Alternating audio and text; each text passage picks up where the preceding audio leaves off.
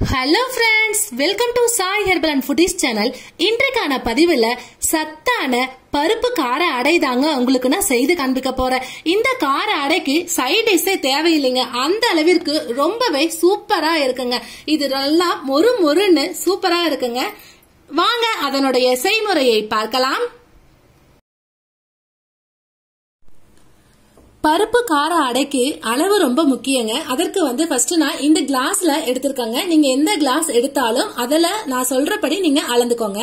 அதாவது பச்சரிசி வந்து ஒரு கிளாஸ் புழுங்கல் அரிசி ஒரு கிளாஸ் உளுந்து வந்து இதுல கால் கிளாஸ் அளவுக்கு எடுத்துக்கோங்க. அதுக்கப்புறமா துவரம் பருப்பு அரை கிளாஸ் கடலை பருப்பு ஒரு அரை கிளாஸ் எடுத்துக்கோங்க. பாசி பருப்பு ஒரு அரை கிளாஸ் வெந்தயம் வந்து ஒரு கால் டீஸ்பூன் அளவிற்கு போதுங்க. இது போல நான் நல்லா இது எல்லாமே மொத்தமா ஒன்னாதாங்க நான் கலந்துருக்கேன். இது எல்லாமே நல்லா தண்ணியில நல்லா கழுவிட்டு அதுக்கப்புறமா ஒரு நாலு மணி நேரம் நல்லா ஊற வச்சிருங்க. இது போல நல்லா ஊற வச்சிருங்க. அதற்கப்புறமா நெக்ஸ்ட் வந்து ஃபர்ஸ்ட் நம்ம ட்ரையா ஒரு மசாலா ரெடி பண்ண போறோங்க. அதற்கு வந்து நல்லா தோலெல்லாம் நீக்கிட்டு இந்த அளவுக்கு இஞ்சி துண்டை நம்ம ஆட் பண்ணிடலாம். அதற்கப்புறமா தோலெல்லாம் நீக்கிய பூண்டு பற்கள் ஒரு பத்து பூண்டு பற்கள் எடுத்துக்கோங்க. வரமிளகாய் வந்து ஒரு எட்டு வரமிளகாய் எடுத்துக்கோங்க. தோல் உரித்த சின்ன வெங்காயம் ஒரு ஆறு சின்ன வெங்காயம் போட்டு ஃபர்ஸ்ட் நல்லா கொர கொரன்னு அரைச்சிட்டு வந்துடலாம். நெக்ஸ்ட் ஒரு சின்ன துண்டு பட்டை ஆட் பண்ணிருங்க. மூணு கிராம்பு போட்டுருங்க. ஒரு கால் டீஸ்பூன் அளவிற்கு சோம்பு ஆட் பண்ணிட்டு அதையும் நல்ல கொர கொரன்னு அரைச்சிட்டு வந்துடலாம். இது நம்ம ஊறி வச்சிருக்கோம் இல்லைங்களா? அது வந்து நம்ம ஃபர்ஸ்ட் நம்ம தண்ணி எல்லாம் எடுத்துடலாம் ஃபர்ஸ்ட் வடிச்சிடலாம். தண்ணி எல்லாம் வடிச்ச பிற்பாடு இப்ப நம்ம அரைச்சு வச்சிருக்கோம் இல்லைங்களா? இந்த மசாலாவை நம்ம இதுல ஆட் பண்ணிடலாம். இந்த அடைக்கு ஏற்ற அளவு கல்லுப்பு நம்ம ஆட் பண்ணிடலாங்க. ஆட் பண்ணிட்டு நல்ல ஒரு முறை கையாலேயே இந்த மாதிரி நல்லா கலந்துக்கோங்க. நல்லா கலந்துட்டுங்க. இப்போ நம்ம பெரிய மிக்சி ஜார் எடுத்துடலாம்.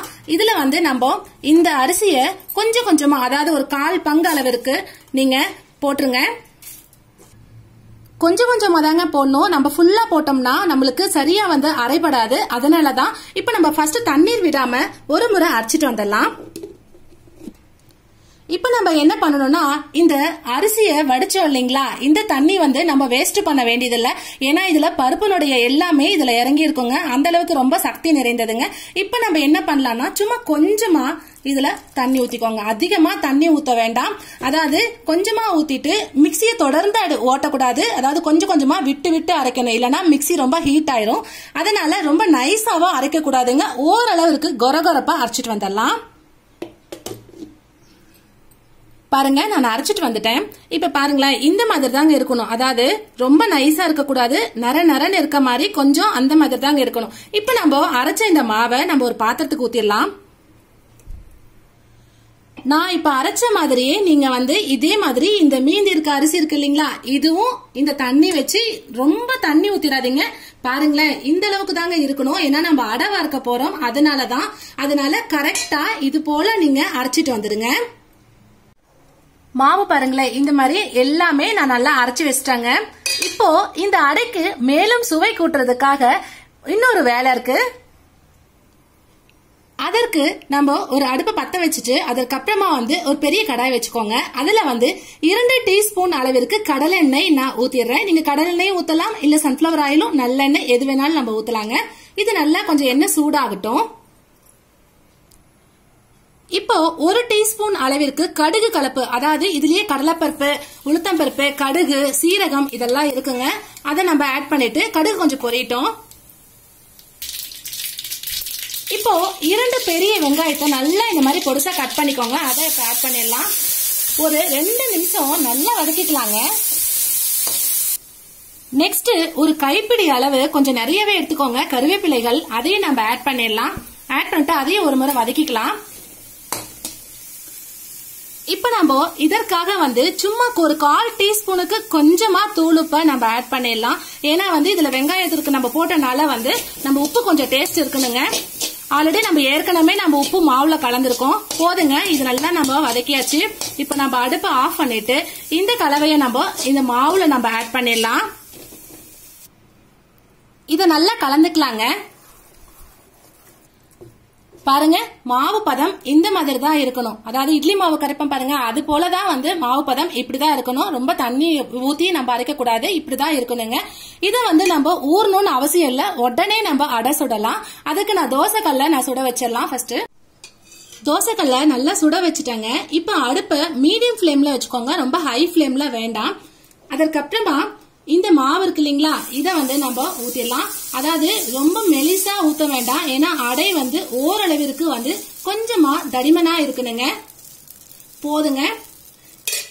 இப்போ இதற்கு மேல வந்து கடலெண்ணெய் நான் ஆட் பண்ணிடுறேன். நடுப்புறமும் ஊத்திடலாம். இப்ப இது ஒரு ஒரு நிமிஷம் வரைக்கும் கீழ்பாகம் நல்லா வேகிற அளவுக்கு நம்ம ஒரு தட்டு போட்டு மூடிடலாம். இப்ப நம்ம ஓபன் பண்ணி பார்க்கலாங்க. இப்ப பாருங்களேன் கீழ்ப்பக்கம் வெந்திருக்கும். இப்போ மெதுவா இதை நம்ம திருப்பி போட்டுடலாம். திருப்பி போட்டுட்டு மேலும் கொஞ்சமா எண்ணெய் ஊத்திக்கலாம். ஏன்னா அடைக்கு கொஞ்சம் எண்ணெய் ஊத்துனா ரொம்ப நல்லா டேஸ்ட் கொடுக்குங்க. நடுப்புறமும் இது போல எண்ணெய் ஊத்திடலாம். போதுங்க. இப்போ மேலும் வந்து மூடி போட்டு நல்லா கொஞ்சம் வேக வச்சிடலாம். இப்ப ஓபன் பண்ணி பார்க்கலாங்க. பாருங்களேன் நல்ல மொறு மொறுன்னு சூப்பரா வந்திருக்குங்க. வாசனை ரொம்ப நல்லா இருக்கு. இது நல்லா வெந்துருச்சுங்க. இப்ப நம்ம இத ஒரு தட்டுக்கு டிரான்ஸ்ஃபர் பண்ணிடலாம்.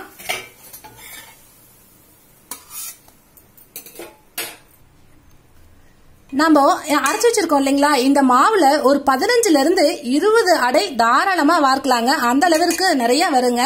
இது போல நான் வந்து மேலும் கொஞ்சம் அடைகள் ஊத்திட்டு அதுக்கப்புறமா காமிக்கிறேன். பாருங்க நல்ல கார சாரமான மொறு மொறுன்னு பருப்பு கார அடை நமக்கு தயாரா இருக்குங்க.